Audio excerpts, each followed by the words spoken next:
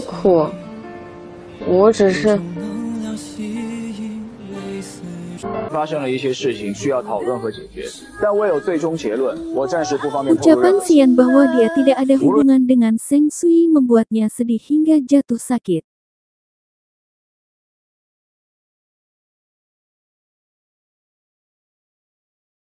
Di perjalanan ke rumah sakit dia bertemu Xian. Xian menawarkan untuk mengantarnya karena hujan. Sui sebenarnya takut dengan jarum suntik.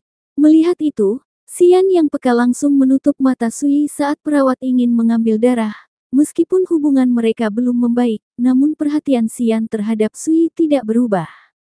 Kesalahpahaman yang tak kunjung terselesaikan di antara mereka berdua, setelah salah paham dengan Beilin, mantan Xian.